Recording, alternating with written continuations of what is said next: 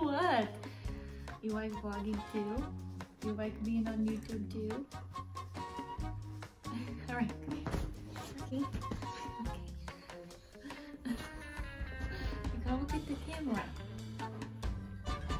Well, hey guys, and welcome back to my channel. I have a little special guest with me today. You'll probably see him hanging out in the background because he's too big to sit on me the whole time. Billy, I can't film with you like this. I, they can't see me. Ready? Hey guys, welcome back to the channel. Hello and welcome back. Uh, long time no see. I know I haven't posted a YouTube video in a while, so I wanted to give you guys a little bit of an update about what's been going on in my life, big things that have been happening. Um, so yeah, I'm just gonna catch you guys up a little bit. So grab a drink, grab a snack, fold your laundry, you know, because it's probably gonna be kind of a long one. So I have a lot to say, a lot to catch you guys up on. So without further ado, let's go ahead and get into the video. You ready? I tried to film this one time before and the audio in the background was really weird. It sounded like somebody was like crinkling a bag. I don't know what it was, weird. So we're refilming it. I'm gonna try to be not as long-winded in this one as the first one that I filmed because it was almost like 20 minutes long. But I just wanted to do a little chit chat, do a more personal video, kind of update you guys about what's been going on, where I've been. If you don't follow me on Instagram, you probably have no idea, but if you do follow me on Instagram, you have an idea of where I've been the past few months. So I'll start with the end of October. So the end of October, the day before Halloween, we moved into our new house and we are loving it. It's been really nice, but kind of after that, everything just kind of started going downhill in a way. downhill, uphill, it's been a roller coaster of a few months.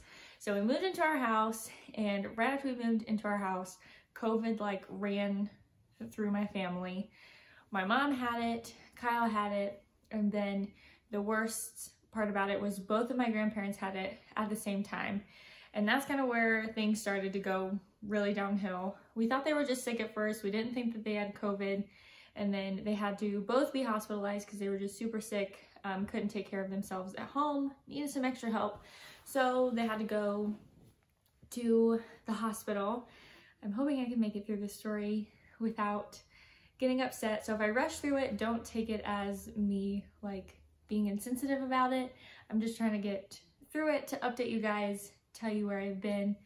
But um, both my grandparents had tested positive for COVID. Both were in the hospital. My grandma had some pre-existing conditions that kind of made um, COVID kind of worse on her body.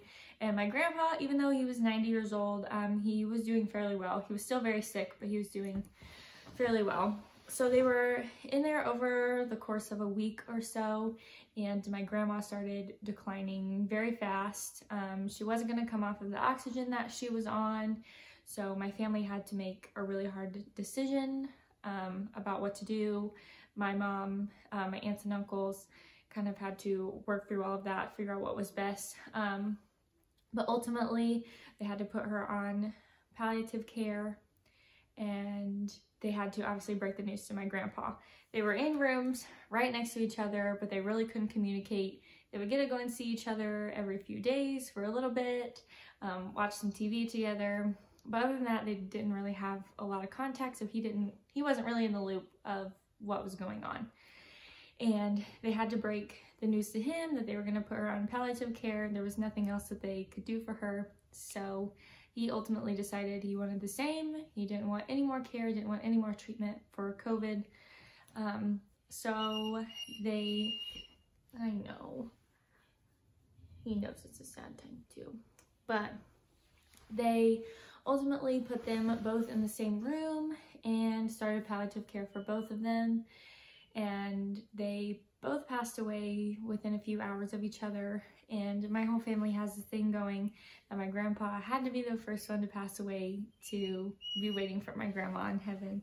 Was honestly like a scene out of a movie. Like everything like just happened so fast and just so unexpectedly. And it was seriously like a scene out of the notebook. Like my whole family says this. Like they um, passed away holding hands like with each other till the very end. And it's just such a romantic thing such a heartbreaking thing but we know that it was how it was supposed to happen how they would have wanted it to happen. Um, they just both loved each other so much and like there's not a better example of love in my family that I look up to than my grandparents. So that was a big tragic thing that happened in November on November 10th and 11th is the days that they both passed away. So shortly after we moved into our house, um, they were dealing with sickness and then that happened. Um, Kyle had coronavirus, but I, however, never got it. I don't know how. we didn't quarantine from each other. I was around my mom too. We were moving out of their house to move into this house. So it was just, it was just a weird time and it's weird how coronavirus works that way. But um, kind of a light in all this darkness. Um, the day before their funeral, I found out that I was pregnant. So if you don't follow me on Instagram or you don't know me personally, I am pregnant and we are expecting a little boy. We found that out yesterday, no, a few days ago. Uh, we just announced yesterday that we are expecting a little boy in August, so we were super excited about that. But all the emotions happened. Found out I was pregnant the day before their funeral. Just like I was happy, I was sad, I was grieving, like I just didn't know what to do. So it kind of took me a while to process the thought of being pregnant and I found out really, really early. And the weird thing is like, I just feel like it was my grandparents and Jesus telling me like, girl, buy the test, better buy a test because I was I had no idea. Even like, I probably wouldn't have had an idea until I like missed my period because I had no symptoms. I was feeling normal. I was feeling fine. But I was just walking through the dollar store one day. I had to go to the dollar store for random stuff. You know, I just like to roam the aisles of the dollar store sometimes. And I was like, you know what, I'll pick one up because we uh, decided like once we got into our house, we were gonna start trying and obviously didn't think that it was going to happen quickly. We were just going with the flow, especially the stress of moving, everything that just happened with my grandparents. Like we just didn't think it was our month. And I know a lot of people struggle with that, so I'm not trying to um, like boast that or make that a point. Um, my heart goes out to everybody that struggles because that hits really close to home. And I don't want you to take me saying that um, like disheartening in any way. So found out, didn't really expect it at all. And funny thing is, I think I'm gonna do like a first trimester recap or kind of just um, talking about the first trimester and just things I experienced, how it was, you know, all that stuff. So leave in the comments below if you want to have a whole video just separately for that.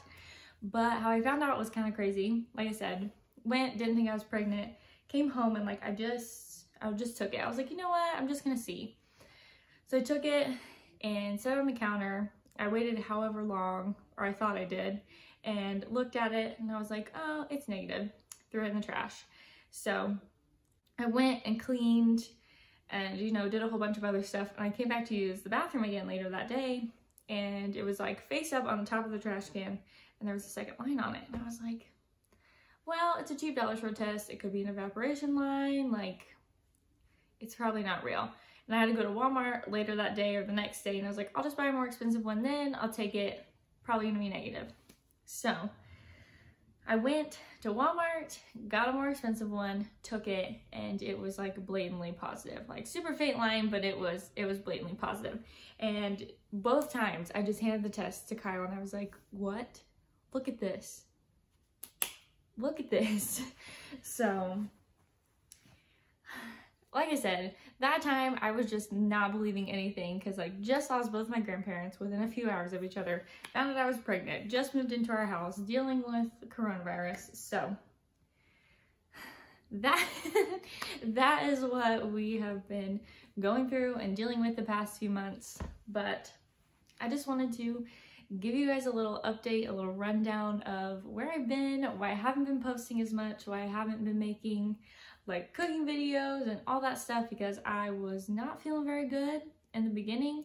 I was living off of like little yogurts and one week all I wanted was like smoked sausage and cream cheese those little pasta packets you buy in the bag and you just put them in water and milk that's all I wanted to eat for like four weeks I tell you um, but I did start taking some medicine I started taking Unisom and B6 and that was a heaven sent for me weeks five through eight-ish were pretty bad um, and after that, after I started taking medicine, things um, lightened up a lot. I still have certain days where I feel kind of blah, and then sometimes in the evenings, but overall, it is tremendously better.